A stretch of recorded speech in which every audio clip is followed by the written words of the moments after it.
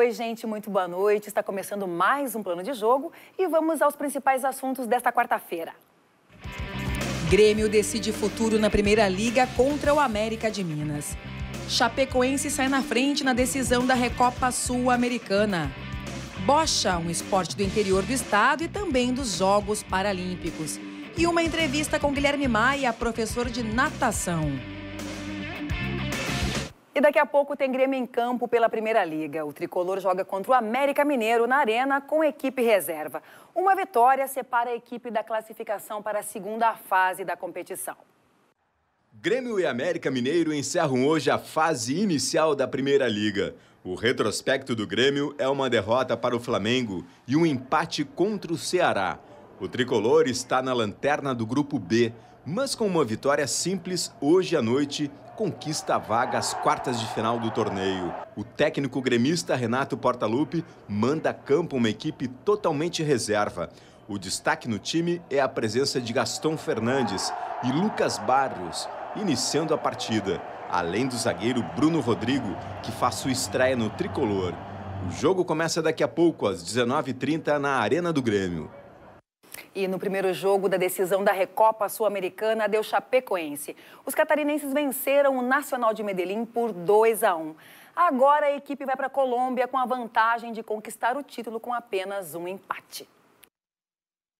No primeiro tempo, aos 22 minutos, João Pedro fez boa jogada dentro da área e arrematou.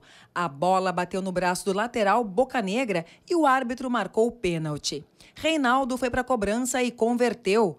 1 a 0 Chape e festa de 19 mil torcedores que foram na Arena Condá.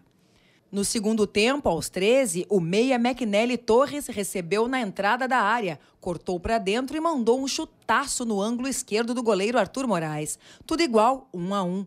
Dessa vez, festa do lado colombiano. Mas a comemoração do Nacional durou 15 minutos. Aos 28, em cobrança de escanteio de Reinaldo, o zagueiro Luiz Otávio subiu mais alto e mandou para o fundo das redes, definindo o placar e a vitória do Índio Condá. 2 a 1. O jogo da volta será em Medellín no dia 10 de maio, coincidentemente, o dia do aniversário de 44 anos do clube catarinense. É, mas nem todo mundo gostou da festa de ontem. Matheus Saroli, filho do ex-técnico da Chapecoense, o Caio Júnior, chegou a chamar as homenagens prestadas ontem na Arena Condá de gananciosas e voltadas para o marketing do clube. A família de Caio Júnior cobra na justiça uma indenização do clube pela sua morte, o que cortou a principal renda familiar. A Chapecoense, por meio do seu diretor jurídico, o Luiz Grochot, informa que não tem conhecimento dessa ação e que o clube não vai se pronunciar tanto sobre tanto sobre esta quanto sobre as outras críticas do filho do Caio Júnior. E agora a gente fala de golfe. Começou hoje no Belém Novo Golf Club, em Porto Alegre, a 50 edição do Campeonato Sul-Americano Juvenil da modalidade. Equipes formadas por três jogadores no feminino e no masculino disputam o torneio, que reúne os melhores jovens golfistas do Brasil e de outros nove países: Argentina, Bolívia, Chile, Colômbia, Equador, Peru, Paraguai, Uruguai e Venezuela. No masculino, o Brasil será representado pelos gaúchos Juan Betcher e Andrei Xavier e pelo paranaense Daniel Celestino. Celestino e Betcher são os dois primeiros colocados no ranking gaúcho. Xavier é o atual campeão brasileiro pré-juvenil e faz parte da equipe de alta performance do Belém Novo Golf Club. A equipe feminina é formada por Lauren Nunes Greenberg, de São Paulo, Laura Caetano, de Brasília e Ana Beatriz Cordeiro, do Paraná, todas do ranking juvenil nacional. O delegado é Ricardo De Rose e o técnico é Nico Barcelos. A gente vai um rápido intervalo e já volta com mais esporte. Não sai daí.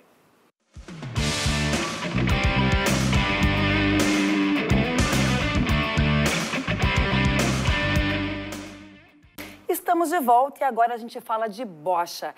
Esse esporte tão comum no interior do estado e que faz parte dos Jogos Paralímpicos desde 1984. A cidade de Passo Fundo foi sede da primeira fase do Campeonato Gaúcho em cadeiras de roda. A matéria é da nossa parceira, o PFTV. Vamos ver? Antes de começar, uma reunião do time para decidir as táticas do jogo. Depois de reconhecer a cancha, aí sim, tudo certo para começar a partida. E se engana quem pensa que a cadeira de rodas é um empecilho. As atividades por aqui começaram cedo, tudo para ver quem segue bem colocado na próxima fase do campeonato. Pelo menos duas coisas são essenciais para o pessoal que compete aqui: precisão e força. Para passar da primeira fase, os competidores têm que somar pelo menos oito pontos. E olha, a disputa é bem acirrada. E dentro da cancha, muita concentração. O jogo de bocha é conhecido por sua necessidade estratégica. Em resumo, a ideia é chegar o mais perto possível do balinho, a menor bola do quadro. Ganha quem fizer isso mais vezes. E a partida não termina até que isso aconteça, o que pode até durar horas. E logo na primeira partida da manhã já tivemos uma dupla vencedora. Foi apertado, mas Adriana e Cláudia de Santa Maria viraram o jogo. Elas venceram da equipe masculina de Novo Hamburgo. As duas foram as primeiras cadeirantes jogadoras de bocha do estado. Tem ainda poucas mulheres e até a gente faz um chamado para elas. Como tem poucas, a gente sabia que ia disputar com os meninos e eles já jogam há bastante tempo. Então a gente focou nos treinos agora nesse último mês sozinhas, para a gente descobrir as nossas formas de jogar sozinhas, uma conhecer bem a outra. Para mim está sendo uma experiência maravilhosa. Conhecer pessoas, a inclusão, assim, muito importante, está me fazendo muito bem. Acredito que para todo mundo que está aqui. A equipe da Associação de Cadeirantes e Deficientes Físicos de Passo Fundo também se destacou. Uma das equipes ganhou o troféu de primeiro lugar. Então a, a equipe da CD é uma equipe muito unida. Eles se empenharam muito e está trazendo resultado, graças a Deus, pelo empenho da equipe inteira. E a bocha é, é, por ser um esporte mais tranquilo, né? É um, um, esporte que eles têm que raciocinar mais, eles é, não dependem de muita força, não dependem de muita agilidade, de muita destreza, de mudança de direção, como basquete, atletismo. A bocha, ela pega um perfil de deficiente físico que é muito legal. E como ela é bem democrática, a gente pode jogar com andantes, pode jogar com outros cadeirantes, Tu pode jogar com criança, tu pode jogar com idosos, ela não exige muito. Ela só exige mesmo treino e precisão. Um esporte que tu pode assim, puxa, mas bocha. Mas bocha é muito emocionante quando tu começa a ver toda a participação deles, é muito legal.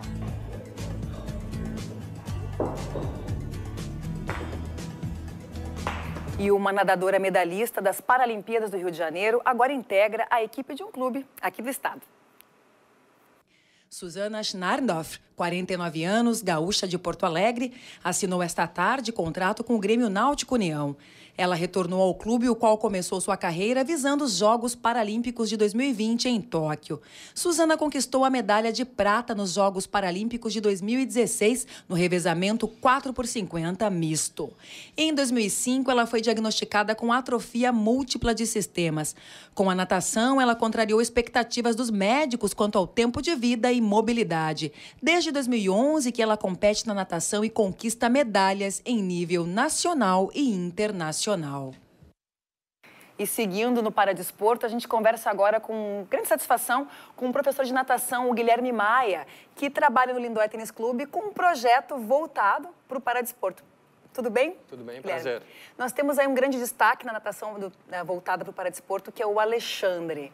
Conta um pouco do Alexandre e qual foi a última competição que ele participou agora. Ele, o Alexandre é um atleta paralímpico, do projeto Esporte Mais, treina comigo no Lindóia Tênis Clube, participou do Parapan de jovens, três provas, baixou o tempo dele nas três provas, conquistou a medalha de bronze. Que coisa boa! No 100 metros peito. Foi em março essa competição, Guilherme? Isso, no final de março.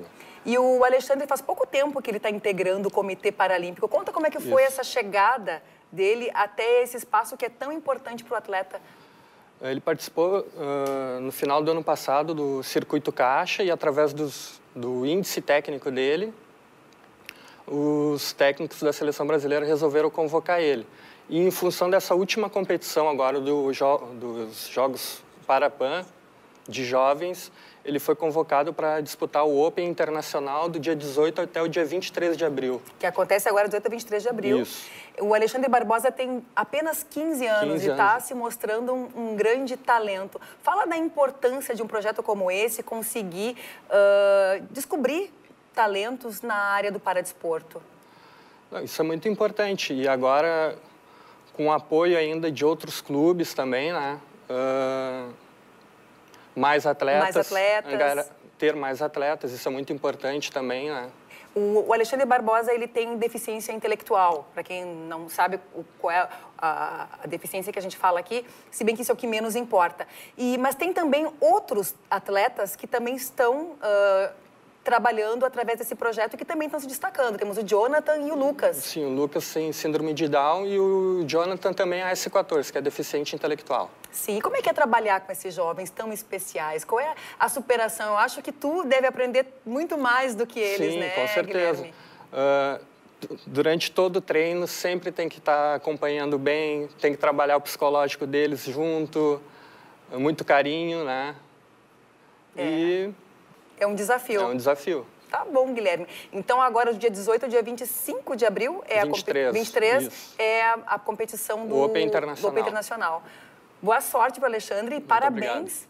pelo trabalho de vocês. Obrigado. Ah, e sempre que tiverem uh, coisas boas para nos trazer, venham aqui no programa. E a gente fica por aqui deixando para vocês as homenagens prestadas à Chapecoense na noite de ontem. A gente volta amanhã às 7 horas da noite. Até lá.